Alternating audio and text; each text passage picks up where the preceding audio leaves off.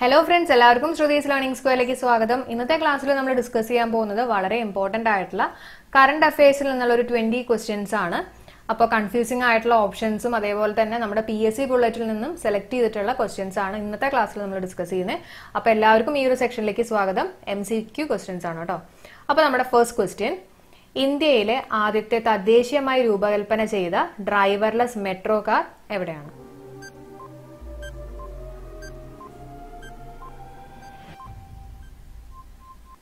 Answer Bengaluru ആണ് അതേസമയം driverless metro ആണ് ചോദിക്കുന്നതെങ്കിൽ നമ്മുടെ ആൻസർ ഡൽഹി ആയേനെ കേട്ടോ. അപ്പൊ ശ്രദ്ധിച്ചിട്ട് ആൻസർ ചെയ്യാം.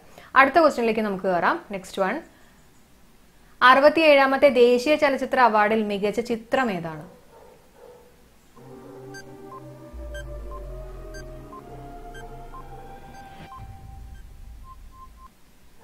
ആൻസർ മരക്കാർ അറബിക്കടലിന്റെ സിംഹമാണ്. ഇപ്പൊ ക്വസ്റ്റ്യൻ അകത്ത് അപ്പൊ മികച്ച മലയാള ചിത്രമാണ് ചോദിക്കുന്നതെങ്കിൽ ആൻസർ കള്ളനോട്ടം കേട്ടോ. അപ്പൊ ശ്രദ്ധിക്കണേ. അടുത്ത ക്വസ്റ്റ്യൻ അറുപത്തിയേഴാമത്തെ ദേശീയ ചലച്ചിത്ര അവാർഡിൽ ദേശീയോദ്ഗ്രഥനത്തിനുള്ള പുരസ്കാരം നേടിയിട്ടുള്ള ചിത്രം ഏതാണ്?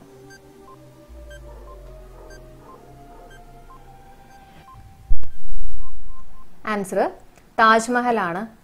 അതേപോലെ തന്നെ അറുപത്തി ആറാമത്തെ ദേശീയ ചലച്ചിത്ര അവാർഡിൽ കിട്ടിയിട്ടുള്ള ചോദിക്കുകയാണെങ്കിൽ ആൻസർ ഒണ്ടല്ല ഇരണ്ടല്ല. നെക്സ്റ്റ് വൺ നൂറ്റി രണ്ടാം ഭരണഘടന ഭേദഗതി രണ്ടായിരത്തി പതിനെട്ട് ഏതുമായി ബന്ധപ്പെട്ടതാണ്?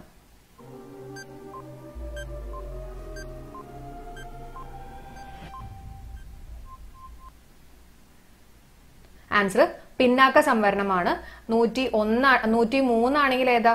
മുന്നാക്കം. കേട്ടോ അങ്ങനെ ഒന്ന് ആലോചിക്കുക നൂറ്റി രണ്ട് പിന്നാക്കം നൂറ്റി മൂന്ന് മുന്നാക്കം അതുപോലെ തന്നെ നൂറ്റി ഒന്ന് G S T. Olympics medal നേടിയ ഏറ്റവും വിസ്തീർണം കുറഞ്ഞിട്ടുള്ള രാജ്യം ഏതാണ്?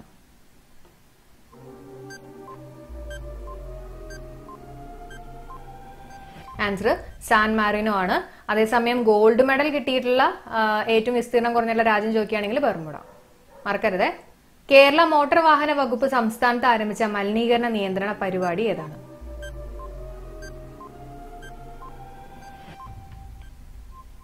ആൻസർ ഓപ്പറേഷൻ ഹരിത ബോധവൽക്കരണമാണ് കേട്ടോ.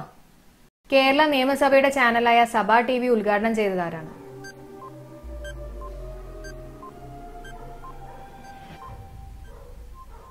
ആൻസർ ഓം ബിർള. അടുത്ത ക്വസ്റ്റ്യൻ നോക്കാം. ലോകാരോഗ്യ സംഘടനയുടെ അംഗീകാരം ലഭിച്ച ചൈനയുടെ വാക്സിൻ ആണ് ചോദിച്ചിട്ടുള്ളത്. ഏതാണ്? ആൻസർ സിനോഫോം ആണ്. ഫൈസർ ആരുടെയാണ്? അമേരിക്കയുടെ ആണ് ജോൺസൺ ആൻഡ് ജോൺസൺ എന്തിന്റെ ആയിരുന്നു സിംഗിൾ ഡോസ് വാക്സിൻ ആണ് കേട്ടോ. കോവാക്സിൻ ഇന്ത്യയുടെ മറക്കരുത്. അടുത്ത ക്വസ്റ്റ്യനിലേക്ക് വരാം. സ്ത്രീ സുരക്ഷയ്ക്കായി സംസ്ഥാന ശിശു വികസന വകുപ്പ് ആരംഭിച്ച പദ്ധതി ഏതാണ്? ആൻസർ കനലാണ്. അടുത്ത ക്വസ്റ്റ്യനിലേക്ക് കയറാം അഫ്ഗാനിസ്ഥാന് പിന്നാലെ യു എസ് ഏത് രാജ്യത്തെ സൈനിക ദൗത്യമാണ് അവസാനിപ്പിക്കുന്നത്?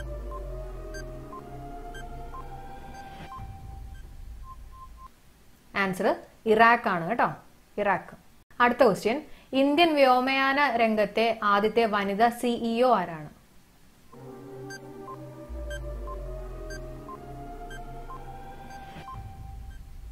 ആൻസർ ഹർപ്രീത് സിംഗ് ആണ് കേട്ടോ. ഹർപ്രീത് സിംഗ്. അഫ്ഗാനിസ്ഥാനിലെ കാണ്ടഹാറിൽ താലിബാൻ കൊലപ്പെടുത്തിയിട്ടുള്ള ഹാസ്യതാരമാരാണ്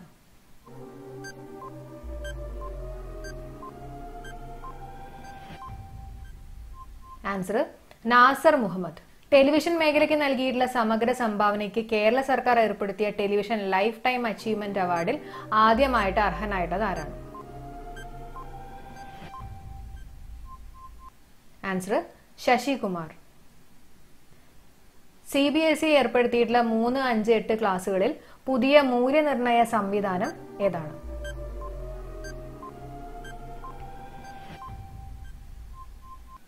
ആൻസർ സഫൽ. വാട്സാപ്പിന് ബദലായി കേന്ദ്ര സർക്കാർ അവതരിപ്പിച്ചിട്ടുള്ള ആപ്പ് ഏതാ?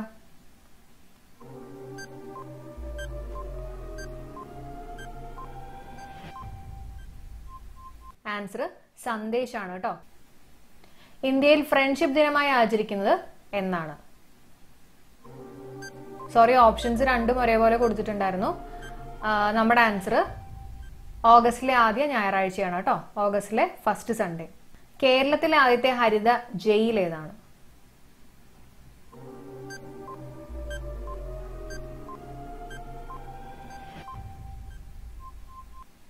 ആൻസർ കണ്ണൂർ സ്പെഷ്യൽ സബ് ജയിലാണ് കേട്ടോ. കേരള സർക്കാരിന്റെ കുപ്പിവെള്ള സംരംഭമായിട്ടുള്ള ഹില്ലി അക്വയുടെ പ്ലാന്റ് തിരുവനന്തപുരം ജില്ലയിൽ നിലവിൽ വരുന്ന സ്ഥലം ഏതാണ്?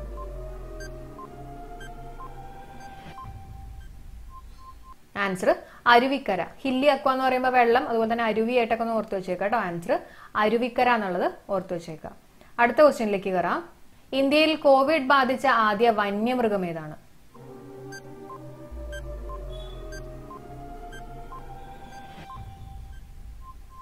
ആൻസർ സിംഹമാണ്. ഏഷ്യാറ്റിക് ലയൺ ആണ് കേട്ടോ സിംഹമാണ്. രണ്ടായിരത്തി ഇരുപതിലെ സമാധാന നോബൽ നേടിയിട്ടുള്ള സംഘടന ഏതാണ്?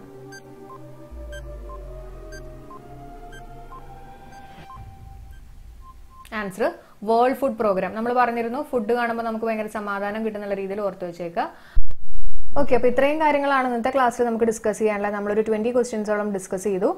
അപ്പം നിങ്ങൾ തീർച്ചയായിട്ടും നിങ്ങളുടെ കമൻസുകൾ ഒന്ന് രേഖപ്പെടുത്തണം. അപ്പം ചെയ്യേണ്ട കാര്യം എന്ന് വെച്ചാൽ ഇപ്പോൾ ഇതേപോലെ ഞാൻ എം സി ക്യു ക്വസ്റ്റ്യൻസ് ചെയ്യുന്നതാണോ നല്ലത്? അല്ലെങ്കിൽ ജസ്റ്റ് ക്വസ്റ്റ്യൻസ് കുറച്ചധികം ക്വസ്റ്റ്യൻസ് അങ്ങ് വായിച്ചു പോകുന്നതാണോ നല്ലത്? ഏതാണ് നിങ്ങൾക്ക് യൂസ്ഫുൾ എന്നുള്ളത് തീർച്ചയായിട്ടും എല്ലാവരും ഒന്ന് കമന്റ് ചെയ്യുക കേട്ടോ. കാരണം ഇതേപോലെ ക്വസ്റ്റ്യൻസ് നമ്മൾ എം സി ക്യു ആയിട്ട് ചെയ്യുമ്പോൾ കുറച്ചും കൂടെ സമയം എടുക്കുന്നുണ്ട്. പക്ഷേ അത് നിങ്ങൾക്ക് യൂസ്ഫുൾ ആണെങ്കിൽ എനിക്കത് ബുദ്ധിമുട്ടില്ല. പക്ഷെ നിങ്ങൾക്ക് യൂസ്ഫുൾ ആണോ എന്നുള്ളത് അറിയാൻ വേണ്ടിയിട്ടാണ് കമന്റ് ചെയ്യാൻ പറഞ്ഞത്. അപ്പോൾ ആരും മറക്കല്ലേ? തീർച്ചയായിട്ടും കമന്റ് ചെയ്യുക ഓക്കെ അപ്പോൾ നമുക്ക് നെക്സ്റ്റ് സെക്ഷനിൽ കാണാം. എല്ലാവർക്കും bye thank you all for supporting